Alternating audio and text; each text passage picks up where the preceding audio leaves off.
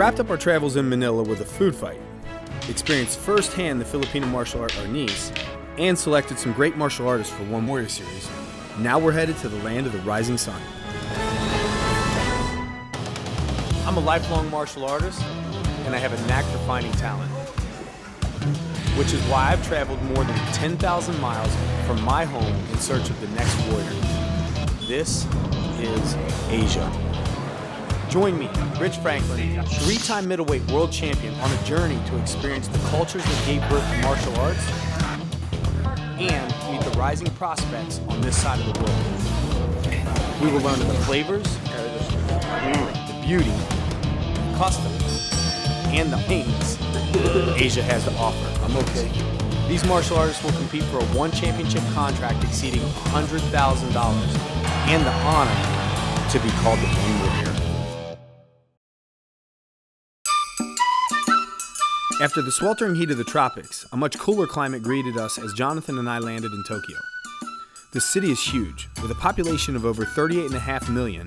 Tokyo is the largest metropolitan area in the world. It's a first class full of contrast and contradiction. Tradition mixed with modern architecture, creativity alongside practicality, forward thinking with conservative values. In short, it's everything a major capital should be, and we were hyped to join the masses. When we arrived in Tokyo, the temperature was considerably lower than it is in Southeast Asia. I think we were in single digits that night, maybe seven degrees, which really for me is not that cold. what makes Tokyo unique and beautiful is the modern buildings and their old historical temples that had unexpectedly blended harmoniously together. Speaking of history, Jonathan and I visited the most popular temple in Japan. Our first stop is Asakusa Temple or Sensoji. This temple is actually the most visited temple in all of Japan. And it's quite close to where we were staying. And when we got there, we weren't disappointed. There was a ton of people um, all around the temple. We're at the Asakusa Temple walking around. I'm dropping some temple knowledge on Jonathan. Really been excited to come here. This is uh, Sensoji. Mm-hmm. Okay. The oldest temple in Japan. This thing was built, uh, they estimate it was built like in the 600s, and it was two brothers were fishing in a river. They found a, a statue of Buddha. Yeah. And uh, and they kept trying to throw it away, but it kept coming back. Mm-hmm. So they decided cool. to they decided to show it with one of the show it to one of the chieftains in Yeah. the village, and the chieftain knew what the statue was, so he decided to erect a temple uh, to the Buddha statue, and that's uh, that's how this this thing came about. And You know something else you missed out? A little small detail about this place. what? That's where they shot Wolverine, and that's the roof he jumped off. One point, Jonathan. He's got the cool stories. I just give history lessons. The movie wasn't actually shot in the Asakusa Temple. It was shot at the Zojoji. I just had to get that one from him. Jonathan 1, Rich 0.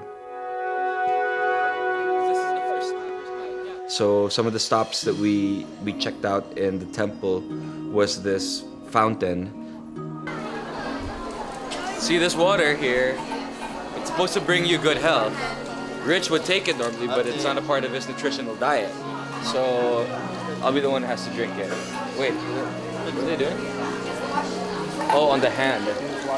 You can dump it on your hand and put it in your mouth.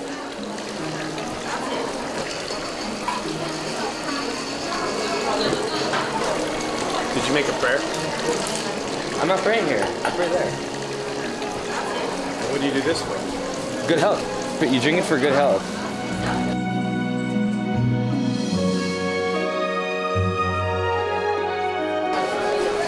See that? So everyone, everyone's like uh, bowing, approaching it.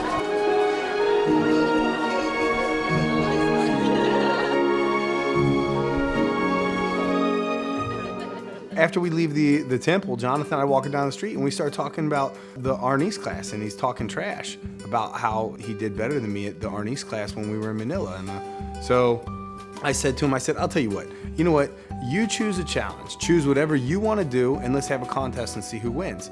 But whoever wins gets to choose what the loser has to do. And so he says, game on.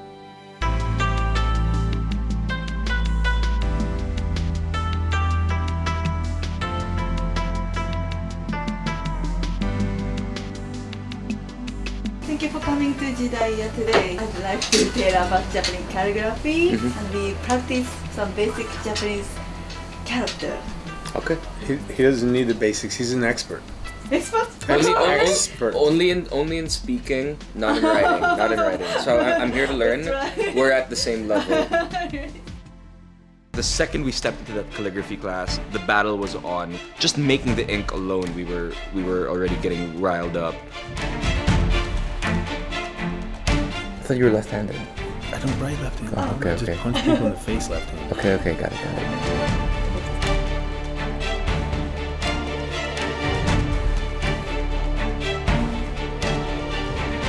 What are you making? What is that?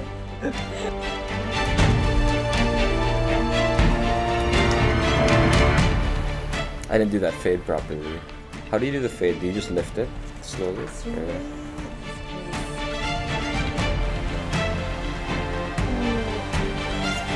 Whoa! Very nice. We have our practice. Now it's time to put your money where your mouth is. Okay, next. Please choose your that kanji. You have to judge. Who's better? Clearly, I'll be better.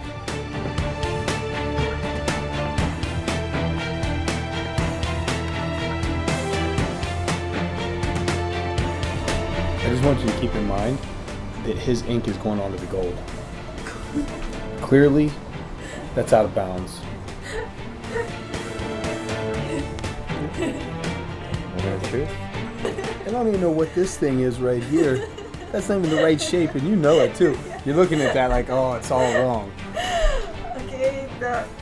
the Pretty sure I got winner, this. Ah, yes. The stop. This stop is very beautiful. Thank you so much. I, I took great pride in those stops. I really thought that I was going to lose this. From the beginning, I didn't think that I would actually win this thing. And the instructor chose me as the winner, which was just awesome.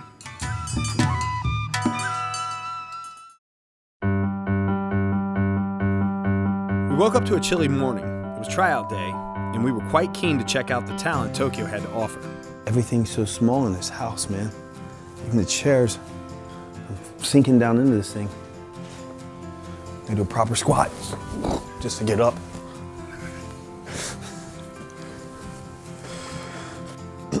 Jonathan, let's go. One of the frustrating challenges with traveling with Jonathan is his hair. It takes him like an hour and a half just to get his hair done. Your hair looks fine, bro. It was good, right? Yeah, I thought so too. Bro, it's so cold. Dude, it's just it's I'm, I'm freezing. it's it's not that bad. Like I'm good except for like getting up. Yeah. Like the whole house is cold, and then taking a shower. Oh yeah, yeah. Stay classy. Good morning to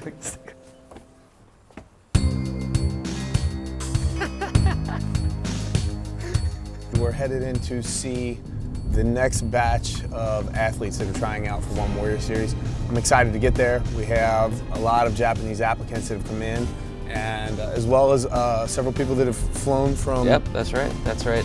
Yeah, so we have some people flying in from Brazil, some people from the UK, as UK, well. yeah. So it's cool to actually have a lot of people coming here to Japan. You know, this is really a hotbed for for martial arts. So really excited to go out and see what we're gonna get today.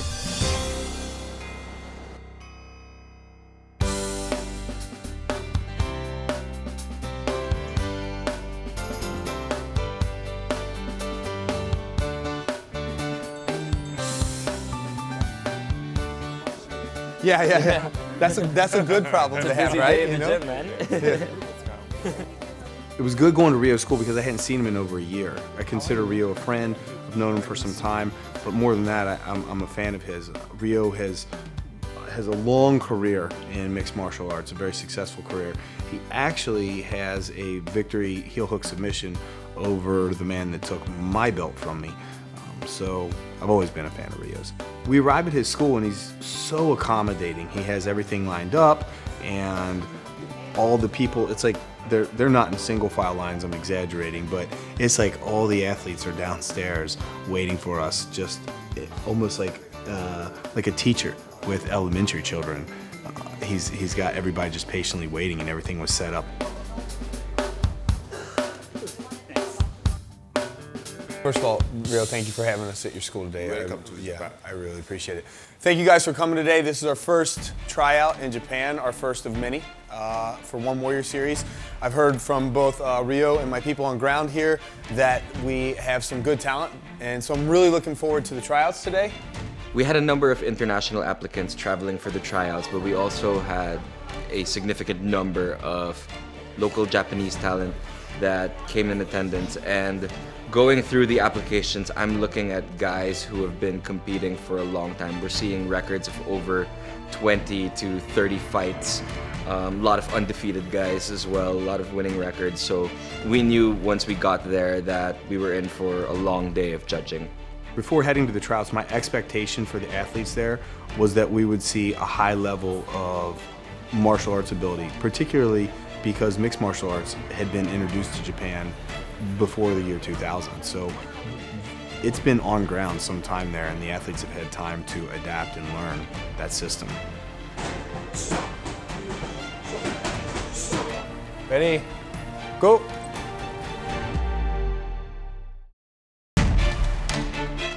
As we had heard from our people on the ground, the talent level in Tokyo was really high. There was a noticeable difference in the intensity and technique from what we'd seen previously. For the first portion of the tryout, we have the athletes step onto the mats with one of their coaches and they do pad work.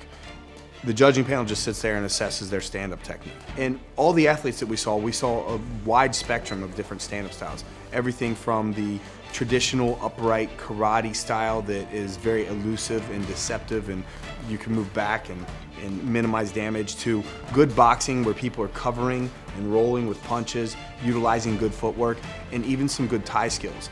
I would say of all the athletes that were there, the standout for the pad session was Panikos.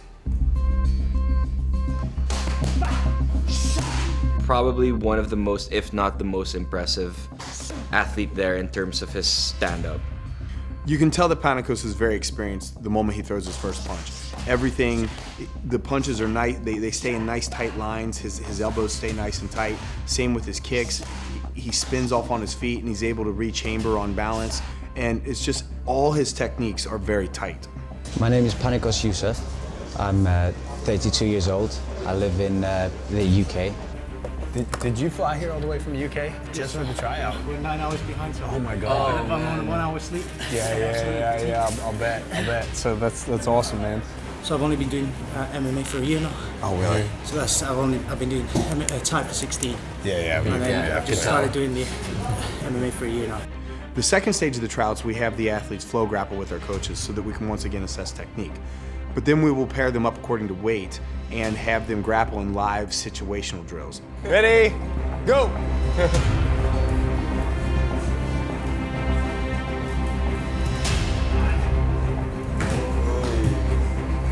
Panikos has to keep the fight standing. Ultimately, we decided not to proceed with selecting him for some deficiencies in his in his ground game. He still had a gap which he needed to bridge. After the tryout, when you have an athlete like Panikos, you really feel like you're letting really good talent go. I spoke to him more in depth about why I was actually not selecting him for the One Warrior Series, but I told him that I would fast track him for the One Super Series, which is a kickboxing league that One Championship has started. But no matter how exceptional the talent pool, there will always be those who rise to the top and seize their moment. 名前は澤田龍斗です、えー、22歳です、えー所属は AACC です、えーと選ばれるまですごいドキドキしたので選ばれてすごい嬉しいです。いつも通りの動きができたのでいいパフォーマンスができたと思います。えっ、とワンチャンピオンシップはすごい自分でも出たかった大会で、えー去年の11月に、シンガポールで行われた大会を見させてもらってすごい自分にいい刺激になったのでこのトライアウトを受けて受かったので、えー自分がチャンピオンになるっていう気持ちで挑んでいきたいと思います。すごい嬉しいです、えー自分がまさか最初に呼ばれるとは思ってなかったので自分の名前が呼ばれた時すごい嬉しく思いました。Ryuto had an interesting story because he had lost a previous match against Naito, who is our former one strawweight world champion. And Ryuto said that he wanted another shot at Naito. So we brought him into our organization, and I can't wait to see him work his way through and work his way up to Naito.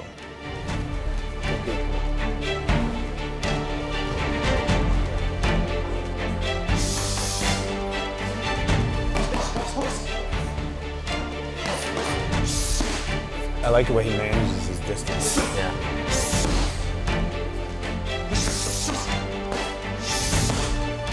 When his pad holder will step in. Uh, uh, uh, see, right there.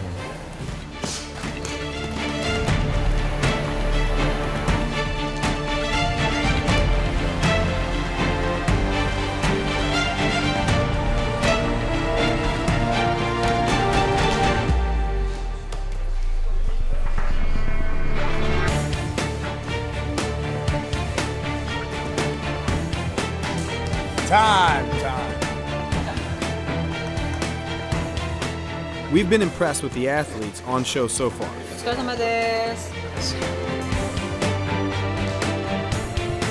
Japan's history is steeped in martial arts, and this was clear to see. One Warrior Series' mission is to unearth the next global martial arts superstar, and Tokyo has given us a glimpse of the kind of talent, determination, and dedication needed to succeed. Let's go! On the next episode of One Warrior Series.